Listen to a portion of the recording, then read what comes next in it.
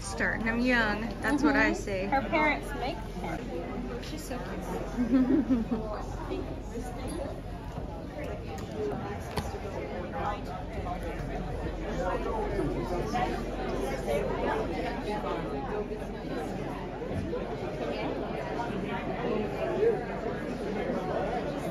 cute.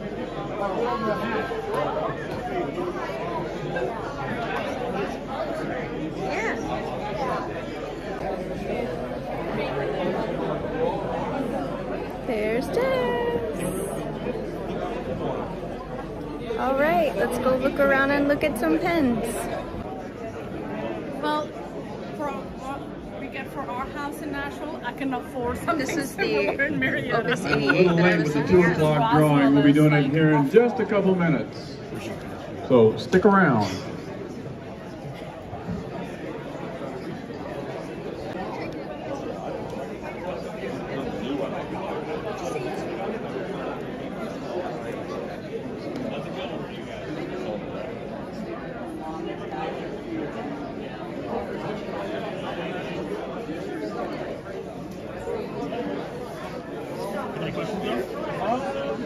Oh, I just came straight out.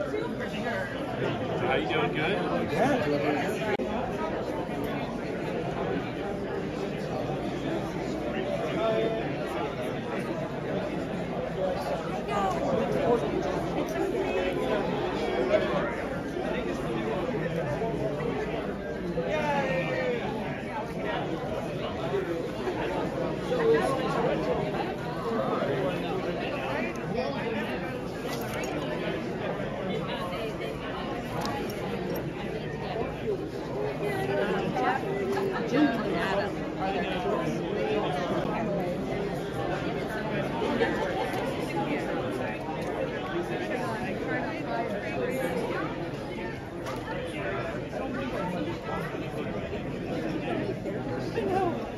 I'm trying to like hide the beverages so it's not like, oh look, Totally leave your beverages out. thank you.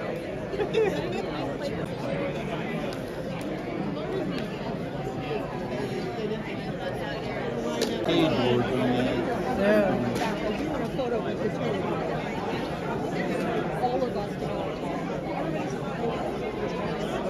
Yeah, So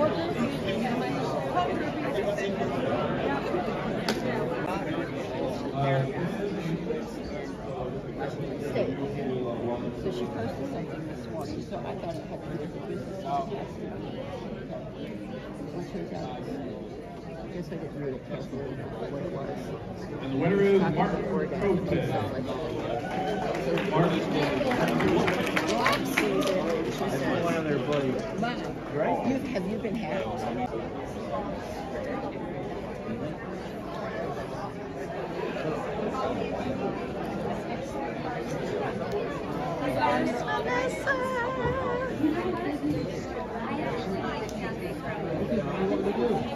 Oh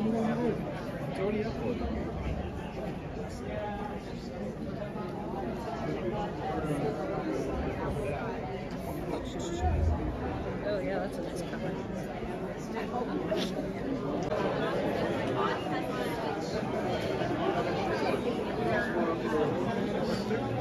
He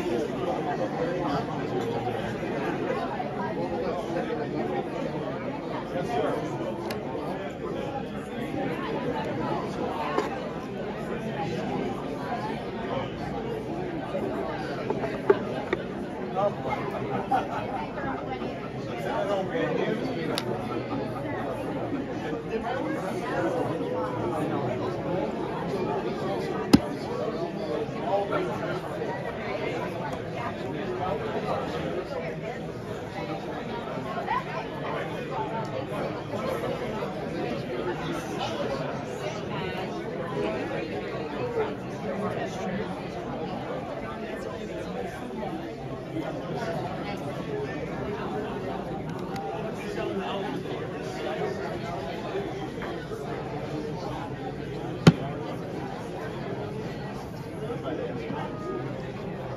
very artistic.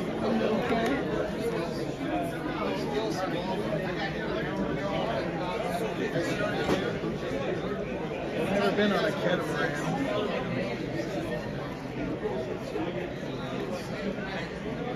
Seems like that'd be fun. Is it? Yeah. He's like, okay. I'm like, okay. And we're all like in our office, sitting down for what I do, no windows. And he's like, Just right next to you know, we're talking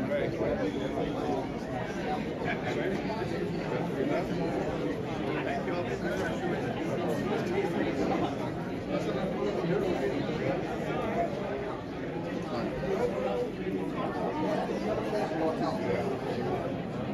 gotta talk to, uh, to Rich.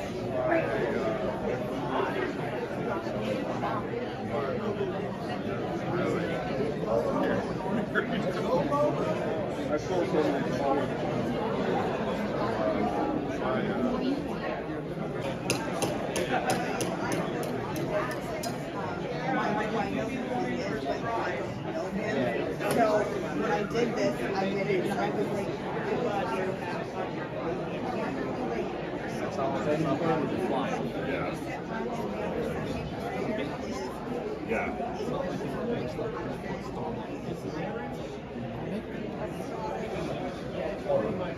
You can mix and match any Okay. color. All right.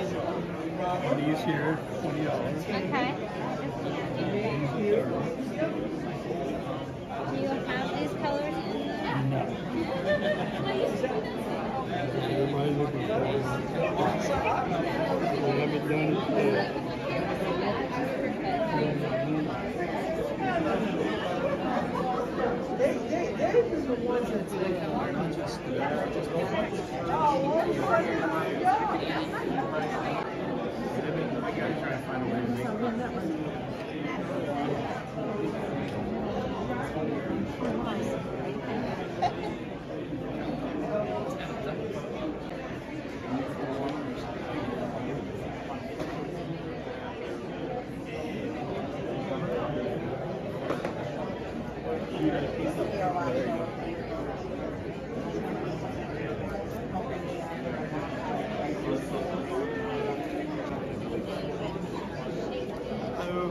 Hi.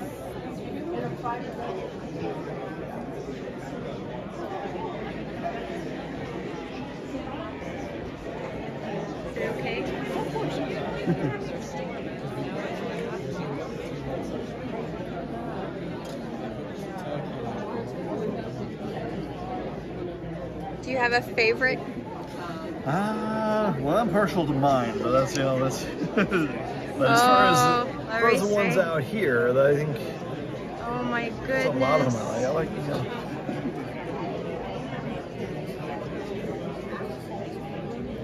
There's mechanisms I like this one as far as the wand pens. Mhm. That's a tough one. I, I, I like the purple heart, the way those turned out. Of course, the ebony ones. Like, you know, yeah, I'm, I'm partial to mine. It is beautiful. This one's not for sale. This one. Oh, okay, okay.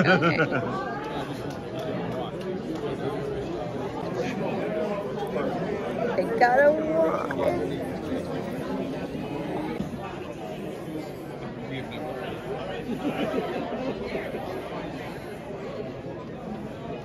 Time for you to take a bathroom break or anything? Okay.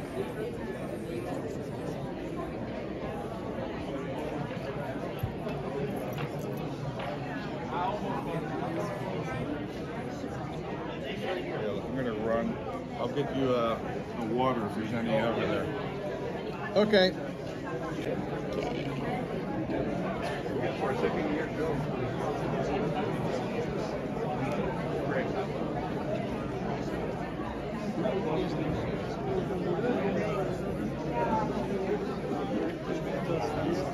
Hi, I'm John from Hello Tello Studios here at the Orlando Pen Show. Have a lot of beautiful pens to display and happy to be here and excited for those of you who can come to visit. But those of you who can't, we have a website and Instagram account and we're always there to serve. Awesome. What's your favorite pen? So right now here the favorite on the table Yeah. for me is this red one. Ooh. The reason why I tell people if you can't afford a Ferrari, which most of us can't, this is your next best thing. So it's in a beautiful red material, a Brooks primary manipulation warm tones, but then we have the Venetian glass work both on the top and the bottom of the pen. And to top it all off, we have a Bock size 8 titanium nib. So the best of the Italian world here in a pen form when you can't afford a A Ferrari. That's fantastic. Oh, they're beautiful. But yeah, a lot of beautiful pens and a lot of detail work that we love to do. Yeah.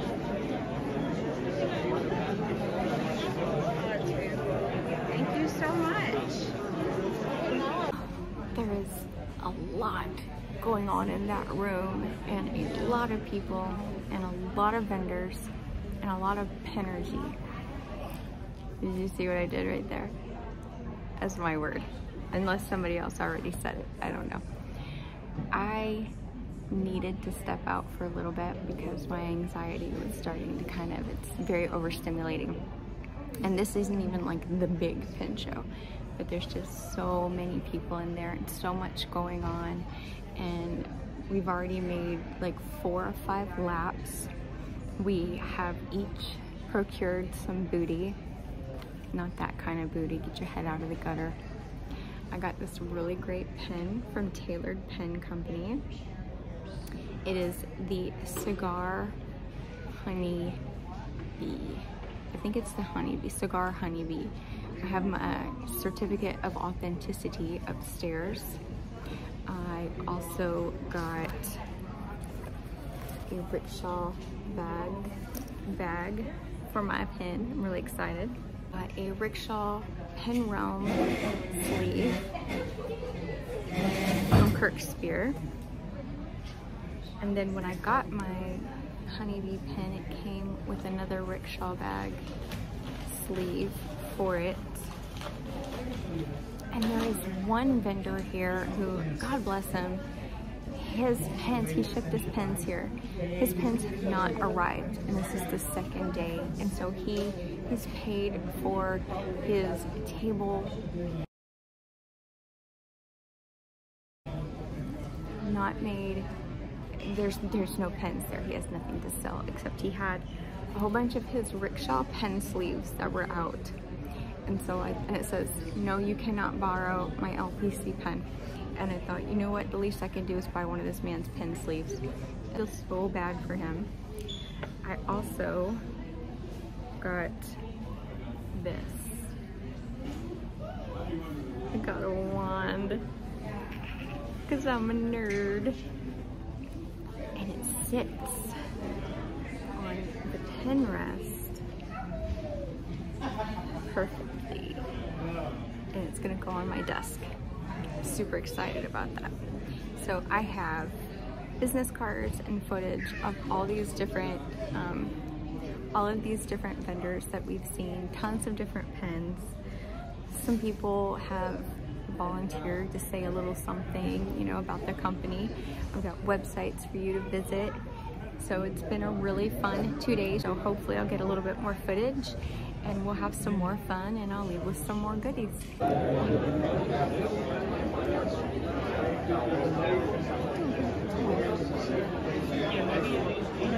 Tell me a little bit about Divine Pens. So Divine Pens, we started in 2017 uh, in Big Pine Key in the Florida Keys. And uh, I have been making pens for almost 21 years now.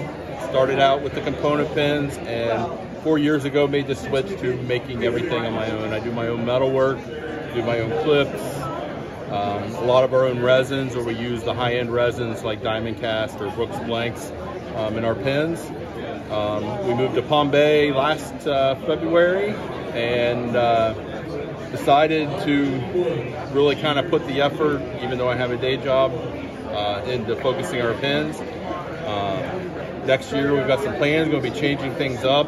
Four different models that we will offer, and, and haven't decided on the resins yet, but that'll soon become. And we'll have everything from a smaller kind of pocket pen all the way up to a, a big boy pen that has yet Wow. to be. So what made you decide fountain pens? Are you a writer or? So I I grew up. I went to school for drafting. So and I've always drawn, uh, hand sketched and stuff all my life.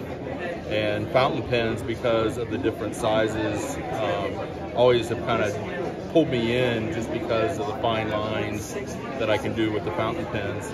And I never really used them a lot until I started making pens, and then that kind of really, you know, you make them, you use them, and then from there it's just kind of been. Uh, I like the creativ- creativity that I can do. Um, you know, with a background in a machining, I was eight, eight years a machinist, so I knew how to be able to make things. Um, and then, you know, like I said, doing pens for 20 years, I understood the pens and how they work and, and how they go together. So it's just, it's been a combination. And now, now I use nothing. The, the pen in the book has been my everyday carry for six months now, and I absolutely love it. I haven't found anything to replace it yet. So. Oh, it's beautiful. That's beautiful. So tell me about yourself. I'm gonna film some of this too. Well, let me film this first.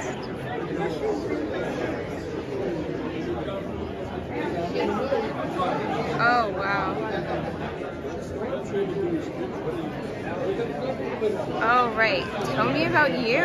I do the work. Um, I had to quit working.